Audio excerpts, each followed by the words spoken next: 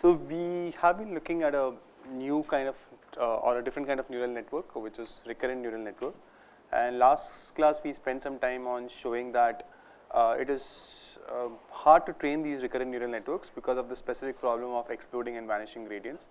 In particular we saw that if you want to propagate, uh, if you want to backpropagate the gradient from time step t, the final time step to an arbitrary time step k, then you have this multiplicative term in the backpropagation uh, which could explode or vanish. So today we are going to try to see if uh, uh, we are trying to focus on something which can help us solve this problem to whatever extent. Right? So, so that's why we'll look at uh, LSTMs, uh, long short-term memory cells, and gated recurrent units. Okay, so let's start with that. So first we'll introduce the idea of uh, selective read, selective write, and selective forget, and then we'll try to build on this intuition and see how could you could realize it uh, by using LSTMs and gated recurrent units, uh, and whether that helps in solving the vanishing and exploding gradient problem. So recall that the state of an RNN records information from all the previous time steps. Right? That was the whole idea that you add this recurrent connections. So as you keep going on at this time step, this cell is not only recording information from the current time step, but it also has some kind of an accumulated history from all the previous time steps, right? But now the issue is that this state or this blue colored vector that you see it is going to be of some finite size, right? You will say that okay, it's a 100 dimensional vector or a 1000 dimensional vector, but whatever be the size, it's going to be some finite dimension. Now, as you keep writing information to that cell, you are morphing the information that you had written at the earlier time steps, right? Do you get that? So, now that is the problem, right? Because on one hand, you are saying that you want to record the information from all the previous time steps, but the other time, you at the other hand, you just have a finite amount of memory to deal with, so it's bound to get overridden, and the information will get morphed so much that it's completely impossible to say what was the original contribution at time step 1 or time step 2 once you have reached some time step 20, 30 or so on. Right? So that's the problem with uh, uh, recurrent neural networks and we'll tie it back to the problem that we had with the vanishing and exploding gradients. Right? So in fact a similar problem occurs when you try to when the information flows backwards during backpropagation. Right? It is very hard to assign the responsibility of the error caused at time step t to arbitrary time steps before it, right, to very far away time steps, it's very hard and that's the vanishing gradient problem, right, because you have this multiplicative term and the gradients vanish.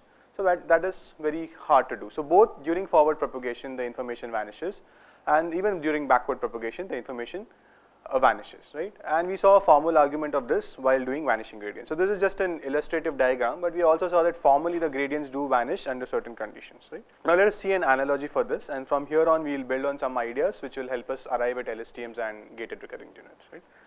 So the analogy is a whiteboard. So you have a whiteboard and it's always of a fixed size, right? I mean the whiteboard is not infinite, you just have some size for the whiteboard and you keep writing information on that. So at every time step I keep going and writing something on the board and I'm trying to derive something or just try to make a story or anything, right? I just keep trying to write information on the board. Now, since the whiteboard is uh, fixed size, at every time I'm essentially morphing the information which was written at the previous time step and after many time steps, it would be impossible to find out that now whatever my state of the board is, how did time step 1 contribute to that state? right? Because it's written all over the board. I don't know where I started, what I did, and so on. And it's going to be very hard for me to find out. And this happens, right? When you do these long derivations on, on the whiteboard, it becomes very hard to track, okay, where did I start with, where was this variable defined, and so on, right? Because it's a fixed size, so you can't really, and you'll end up deleting some terms and so on, right?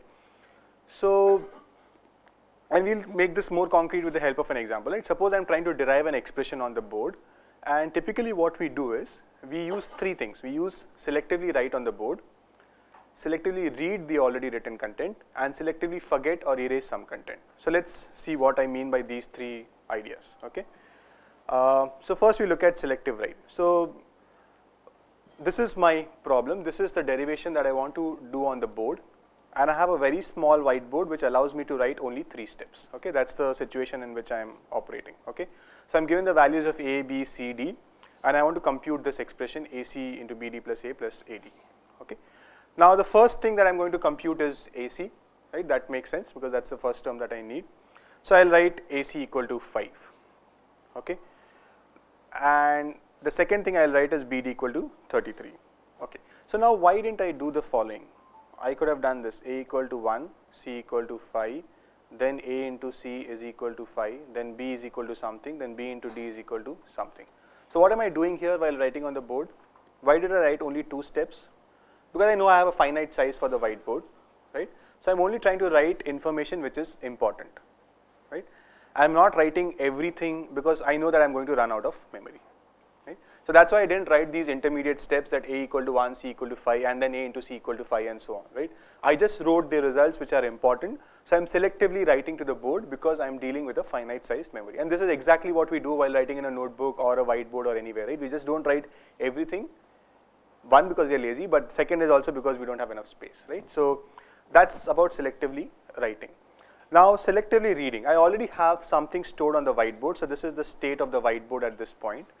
Now, at the next time step, I need to read some information.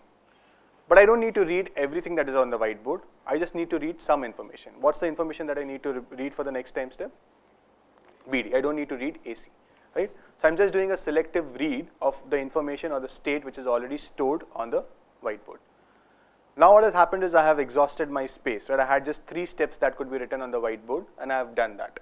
Now what do I do for the next thing? Now I need to compute AC into BD plus A. I'll have to selectively erase. So what will I erase? BD, right? So now I, the whiteboard is full and I'll have to selectively delete some information and as is obvious in this trivial example that you could get rid of BD because you have already encoded the information in BD plus A and now the next step which is AC into BD plus A can go on the whiteboard.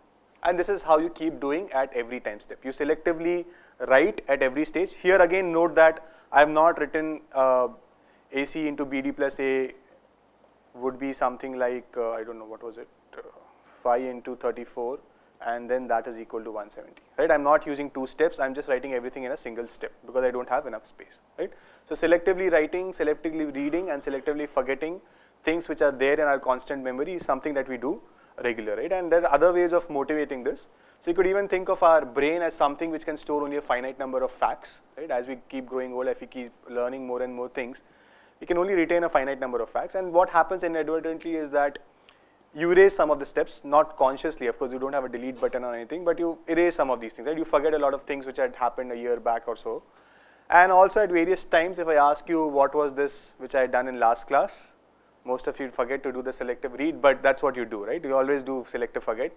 But that is what we typically do in our brain also, right? Any time when you're dealing with a finite size memory, you'll always have this three operations. Either they are explicit or implicit, but the intuition is that you end up doing this, okay?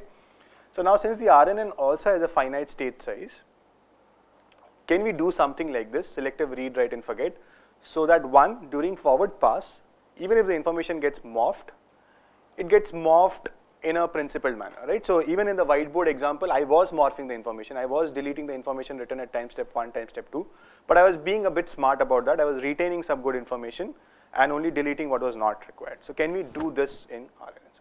So this analogy really sets it up, but now the solution is not going to live up to the expectation, but it will have some, it will be something in this direction, okay?